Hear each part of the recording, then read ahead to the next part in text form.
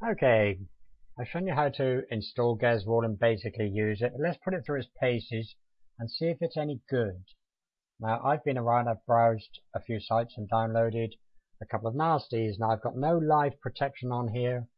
The only thing I have is GeSWall. I've disabled everything else. I don't even have the firewall active. So I'm going to install the bot. Now in amongst this lot, there's Trojan clickers, there's IRC bots, backdoor downloads, and so on. And here we have the first of the pop-ups where BotX is modifying a critical system resource. The processes have gone from 32 to 33, so no big deal. Freezer. I'll allow this one to run, and it's quickly run and disappeared. We've now got 34 processes. Setup. Now these are rogue applications. Again, they're modifying uh, critical system resources. This is Virus Protector. It's isolated from the system. And I'll close that window. And yet another one. As you can see here, the pop-ups are quite happy at the moment. Secure INS 99. Very high CPU usage.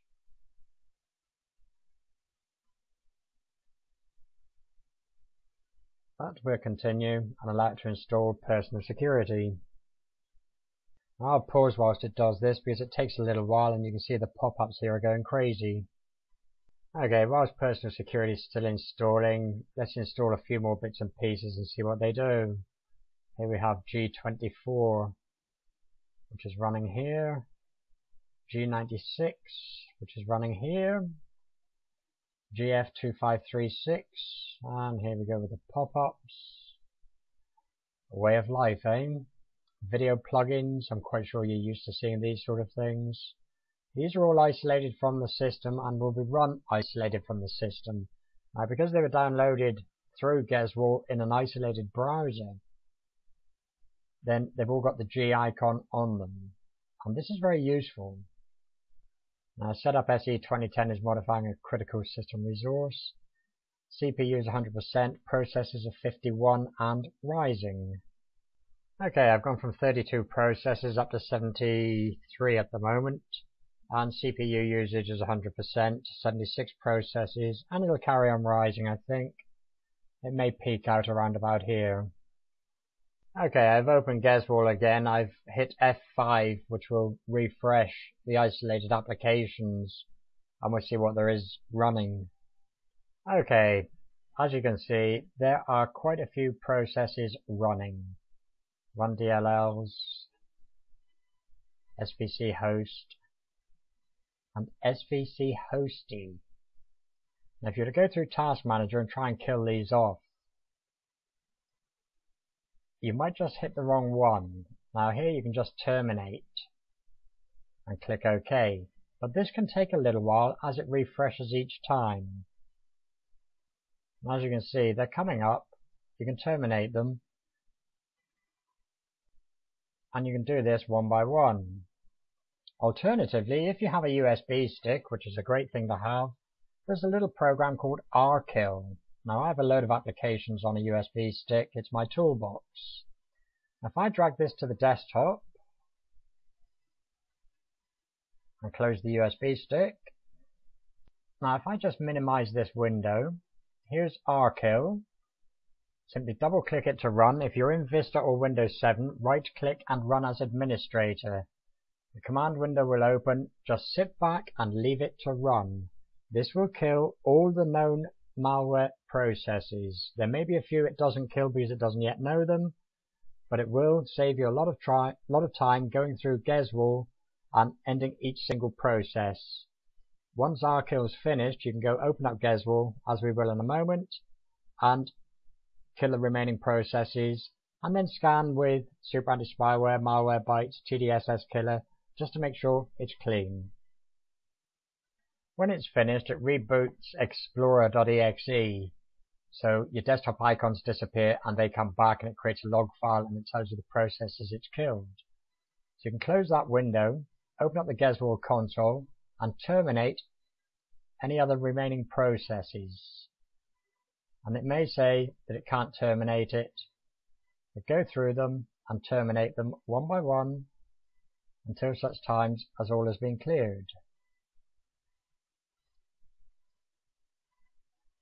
We'll go down to the bottom and terminate this one.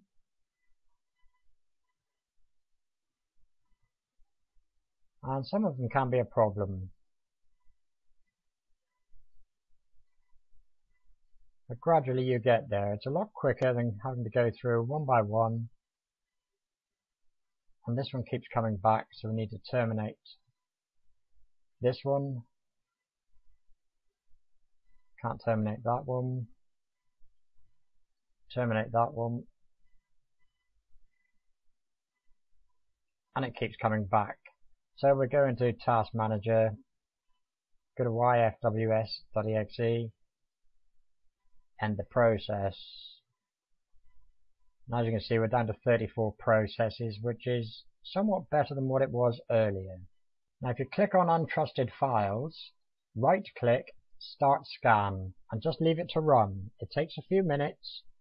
Just go away, make a coffee, and then come back. Okay, here we have a list of the untrusted files. All you have to do is click on the first one. Scroll down to the bottom, hold down the shift key and left click on the last one, then right click, delete file, and it will delete all of them. And again, you can see the progress here. It's very quick and it's deleted them. Now the next thing to do is to run Super Anti-Spyware Portable, which I have on my USB stick because it's a nice handy place to keep it. Now all I have to do is click here to start, select my language and click OK. And the first thing to do is check for updates even though it's the portable version, it can be updated. Okay, Super Anti-Spyware has been updated. So scan my computer, C drive, quick scan, click next, to let it scan. I will also scan with Malwarebytes. Now the reason for this is they're both excellent programs, they both find different things and work in different ways. I will also run the TDSS killer to see if that finds anything.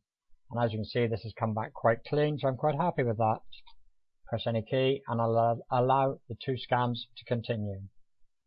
Okay, Super Anti-Spyware took 23 minutes and it found three threats.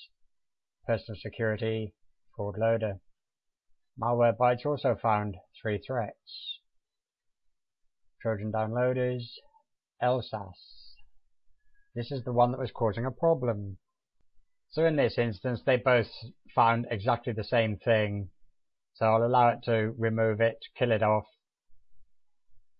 and reboot in a moment and come back to a clean machine. If you want any more details, check out my blog which is Free PC Security. You'll find the download links there as well, and you can find it at freepcsecurity.co.uk.